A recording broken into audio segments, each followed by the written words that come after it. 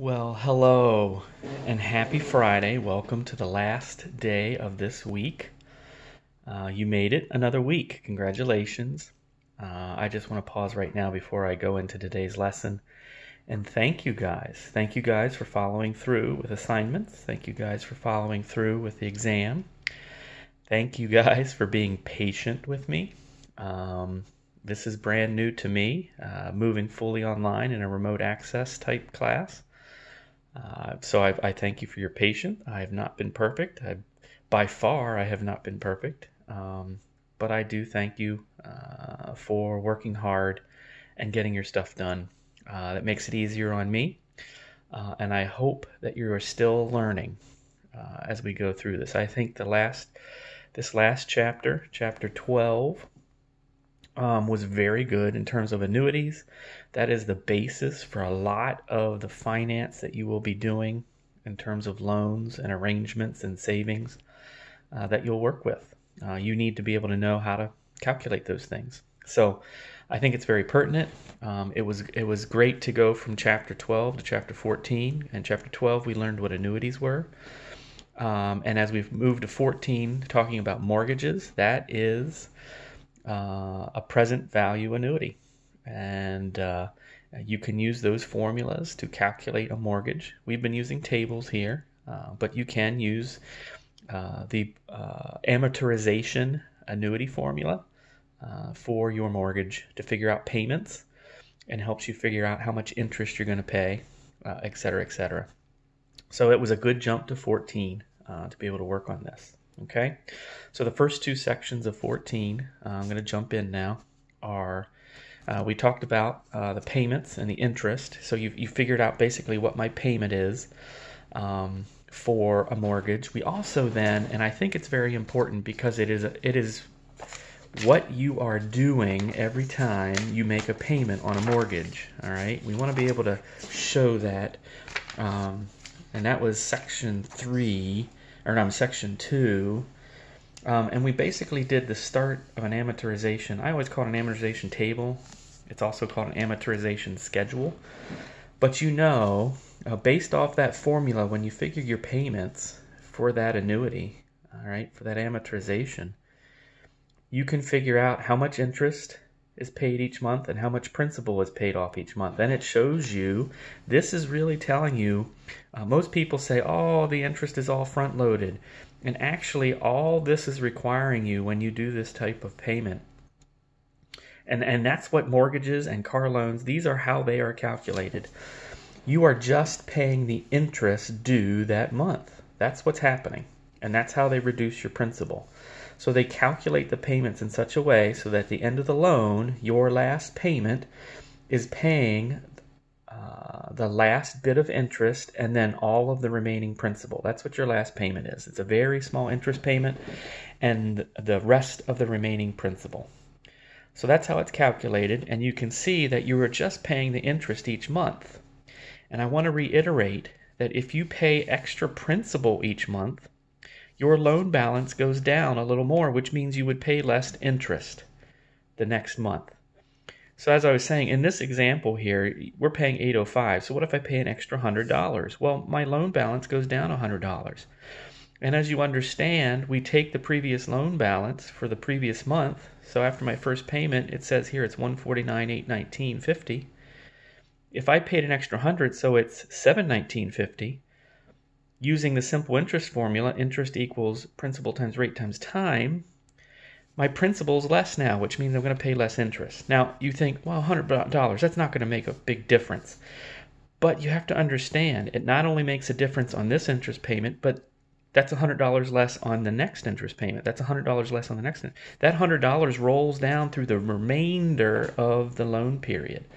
So you're not only saving interest that month, but interest every month after that. So that's why it is so important as you see this mathematically, you can see here the sooner you can pay off your loan, the less interest you're going to pay.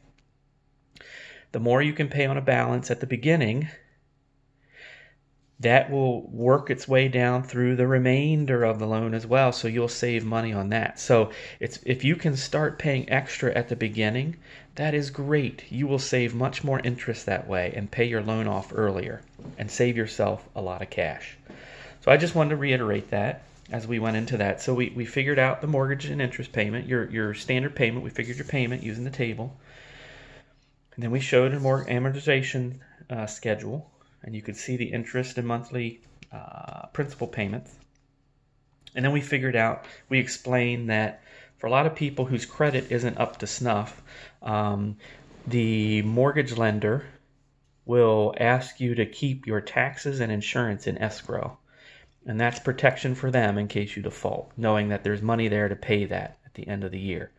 Um, they just they have the data, they have the analytics to tell them that it is it is prudent for them to require uh, lenders, depending upon their credit rating, to have an escrow account for insurance and taxes. All right, and so we figured out how to pay that. Um, basically, you're just taking the totals of your insurance and your taxes for the year, divide them by 12, and add it to your payment. That's easy enough. All right. So what we want to talk about now in section four, and this is on page 458, is we want to go into closing costs. You know, wh- what does it mean to actually buy your home? We're talking about mortgages now, so that's buying a home. So I just want to go over some terms, and then we'll calculate what are your closing costs. Now, closing is just the, the, the meeting between the buyer and the seller, and usually a third party, whether it's an attorney or the real estate agent who's certified to do this, a closing agent um, where you sign the papers, the deed is handed over, you know your final costs, uh, the, the seller will know what their proceeds are. So it's just all that legal documentation to make sure that uh, the title's clean uh, and everybody follows through and signs, and the loan is is uh, started. Um, cash uh, down payments, you know what the buyer owes up front at the closing. So we're going to figure all that out today. All right.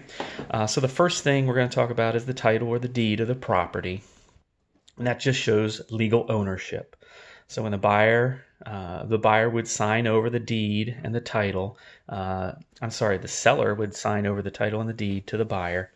Uh, and that's why you normally need like a real estate attorney or a closing agent because they work through the whole title process to get the title transferred over. All right. Um, and then you have to figure there are closing costs. So there are fees. Um, your attorney or your uh, your real estate agent is going to have fees, seller costs. There's taxes. There's in Pennsylvania you do pay sales tax on the on the selling and buying of a house. Um, uh, title fees. There's title search fees uh, to make sure that the title is clean, that the person selling it really does own the house uh, or the property. All right. Um, and so you, you work down through all of that, and that's just giving you some definitions here. Okay. Settlement and closing, that's just the document, just listing everything out that you sign. Uh, when I purchased my home that I live in now, I, I did it uh, for sale by owner. I bought it from a person selling it on their own. So I hired a real estate attorney, and it was the best thing I ever did. It saved me a lot of um, uh, fees in terms of what I might have to pay a real estate agent. So I didn't have that. Um, I didn't have commission to pay to a real estate agent. So that saved me 7% right there. Um, and uh, the uh, seller was was willing to sell it at a lower price because they were taking less of a hit as well. So it, it was just nice to do that. The attorney was great, did all the title search for me, was very reasonable, uh, and everything was buttoned up legally. So um, you can always look at an attorney, or if you're working through a real estate agent, they have all the the legal capabilities to uh, do title transfers, and they have an organization or they have companies that help them do that. So um, that's usually what happens, and that's what settlement is. The day of settlement is when you when the seller hands you the key as the buyer. Okay. Um, if we go over then to page 460, all right, we're just going to walk through here um, what uh, calculating the closing costs. So what what does that all involve? So if we read here, Barry and Donna are purchasing a hundred eighty thousand dollar home. Okay, So that's first we need to know that. They're they're going to pay. They've agreed to pay $180,000. So they've negotiated, they put in an offer. Maybe they went back and forth. Maybe they originally offered 170 and the buyer said, "No, too low." So that happens too. There is negotiation that goes back and forth. And finally, the agreed upon price is $180,000. The down payment is they are putting down 25%. All right? So initially up front they're going to put down 25% of 180,000. Uh, so that is approximately $45,000 that they're going to put down. Okay? Um, so $45,000 is their down payment. Uh, the, uh, the balance will be financed, meaning the remainder of the purchase price. Uh, so they're going to get a mortgage for 25 years and it's fixed rate. That's what we like. Uh, and it's 6.5%. So their mortgage rate is 6.5%. And they're going to pay two discount points. Now, I wanted to explain that real quick. When we talk discount points, I had mentioned that earlier. Uh, that was one of the definitions. Uh, but if I can just write that, a discount point, all right, let's say that based on your credit rating, the lending organization says, yep, you are eligible for a 7.25% interest rate. In this current situation, in this current day and time, that's really high. Um, but let's just say, hey, you are eligible for that. But you know what? Um, if you are willing for two discount points, we will give you a rate of 5%. Now that's a big jump right there. So what you need to figure out, what the discount points are, is uh, for every discount point, they are asking you up front to pay the lender 1% of the amount borrowed. That's what a discount point is. So if you're going to borrow, in this case, they're borrowing $135,000. All right. So if they're being charged points, that would be 1%. So two decimal places, they're going to charge them $1,350 per point. So that would be $2,700 for two points. All right. It would just be whatever 1% of the price is times however many points. So that's what discount points are. And that's a fee up front that they'll charge. Now, what you uh, would be, you would have to calculate as the buyer or the mortgage uh, signee, the mortgagee, all right, is that you would have to figure how much interest am I saving? Now, two and a quarter percent, you're saving way more than $2,700 if it's two points. So I would jump on that in a heartbeat and say, oh, yeah, if I can get that, that's going to save me way more in the long run, way more. Now you can figure this out. All you got to do is figure out what your payments would be on a mortgage with seven and a quarter percent versus five percent. Subtract the two total interest rates, and that's how much you would save. And if that is more than the total points, one percent per point of the amount borrowed, then that's a deal. All right. If if by paying points you are paying more, or maybe you just don't have the cash up front, you might have to settle for the bigger interest rate. And then maybe later down the road, when you are more fiscally um, stable or capable, maybe you look at refinancing to get a lower rate. Maybe your credit score will go up by that point. Okay? So that I just wanted to briefly explain that's what points are. Okay? So in this case, Barry and Donna are going to pay two discount points, and each point is 1% of the amount financed. So that's going to be a cost up front that they have to pay. Uh, so that probably means that this six and a half percent was probably either seven percent or maybe seven and a quarter percent, and it dropped it that much. All right, but that even even three quarters of a percent over the life of 25 years is probably more interest than two discount points now. All right, but you could easily calculate that out. Um, when Barry and Donna signed the sales contract, they put down a pot. So when they made the offer, they said, "Hey, here's 15,000 to start. This is how serious we are."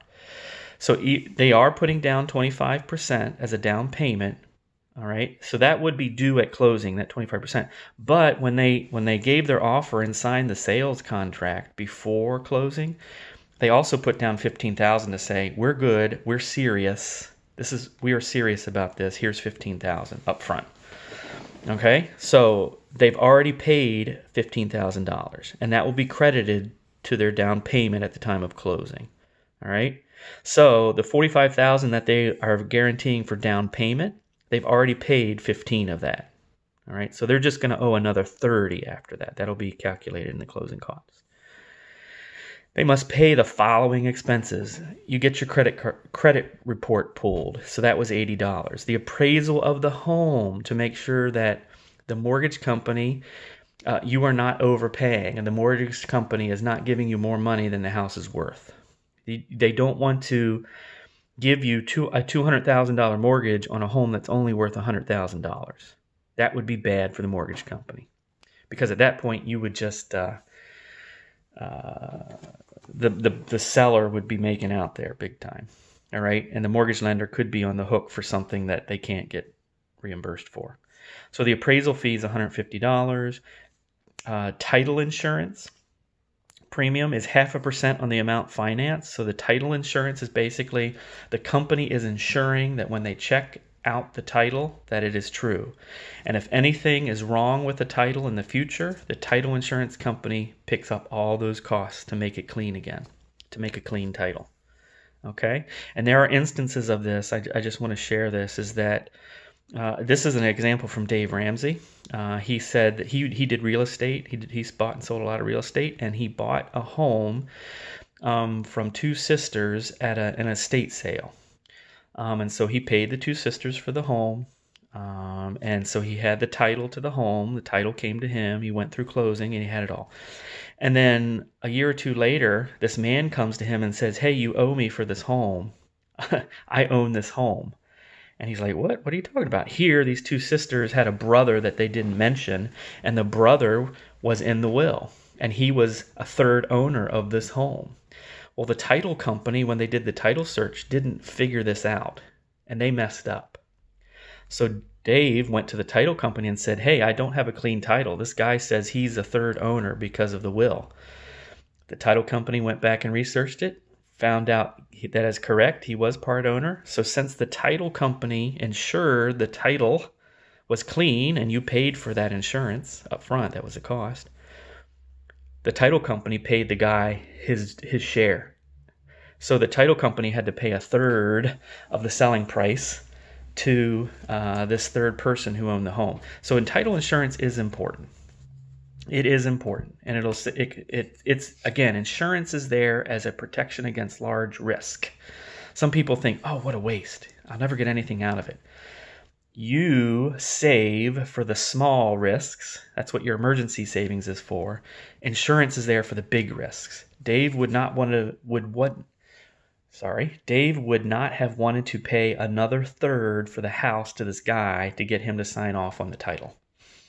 The insurance company did it the title insurance company did. So that's what title insurance is. They ensure the title is clean. All right, so that's the title insurance. And then the title search is another $200, all the research done to make sure it's clean. And then, of course, the attorney fees, $450. That's to make sure all the documents are legal and things like that. So we're going to calculate the closing costs. All right. And the closing cost, if we go over here, the down payment was is 25% of 180,000. So the down payment is 45,000. Okay. The amount financed then is going to be 180,000 minus 45. So their loan is going to be for 135,000 and they're going to owe 45 up front. Now, we were talking about discount points. Now the discount points, remember, they're getting they're paying discount points so they get a lower interest rate and a point is a percent. So they're paying two points, two percentage points of the amount financed. So 135,000 times 2% would be $2,700. All right, so what we're doing is we're figuring out what the closing cost is. So the points is 2,700, that's the first line. The down payment, they've already paid 15,000. We're just talking about closing now. With the sales contract, they paid 15,000. So the $45,000 down payment which is 25% of the agreed upon price, minus what they've already paid. So they, they owe another 30. All right. We already looked at the credit report pool was 80. The appraisal fee was 150. Title insurance is half a percent of what's being borrowed, 135,000. So that's calculated at 675. The title search was 200 and the attorney fees was 450. So due at closing, uh, Barry and Donna would have to have a check for $34,255 Now, the one thing I will mention here that didn't mention escrow. Normally, you would be paying into escrow right now or any tax due on the home for that year. All right. They would prorate it and you would have to pay the tax up to that, make sure the tax is paid to that year, and then you'd have to pay. Actually, the the seller would have to make sure the tax is paid up to that point in the year, and then you would owe at closing the remainder of the year in taxes and insurance. If that makes sense. So you would pay that. That would be part of closing as well. They don't mention it here. But if you're buying in April, you would owe May, June, July, August, September, October, November, December. You would owe uh, eight months of taxes. So 80%, or no, 8 times 12, not 80%. 8 divided by 12. All right, you would owe eight months of taxes, and they would charge you that as part of closing. All right, and then after that, all your payments would go into escrow, if that makes sense. And then you would pay your bill at the end of the year through escrow. All right, now part B of this was uh, if the seller, if we go back here, if the seller are responsible for the banker's or broker's commission, all right, which is 6% of the purchase price. They're also responsible for $900 in other closing costs, probably just other fees, and the existing mortgage with a balance of $50,000. So they still owed $50,000 on their home. All right, they had $50,000 left in the balance. What will their proceeds be? All right, that means how much will they get for the sale of their home? Okay? So we know the selling price was 180,000. That's the agreed upon price. Uh, the broker's fee, 6%. So 6% of, of the selling price would be $10,000, 800. Closing costs, the extra closing cost is $900. And then the mortgage payoff, they still have to pay $50,000 to their mortgage lender. So when you total that up, that's $61,700. So you would subtract that from the agreed upon sale price. So they should get a check for $118,000. All right? So at closing, Barry and Donna need a check for 34,255. And the seller would then get a check for $118,300. And that's where the attorney would have all that done. All this check would be written out. You'd have a banker's check for this, and he would authentic, authenticate it Usually with a banker's check, that's that's all you need. That's official enough. I think you pay like two dollars per a thousand or two dollars per ten thousand for banker's check, something like that. You you have to pay for it. So it's like fifteen dollars to write that check. And that's just ensuring that it's official, it's printed out, nothing handwritten on it except your signature. All right. So, uh, what I would like you to do I know this was a little longer, but what I would like you to do is try at exercise four. Let's figure out the closing cost and the proceeds for Jonathan. He's purchasing a townhouse. So uh, go ahead and practice that, and I'll come back with the answer.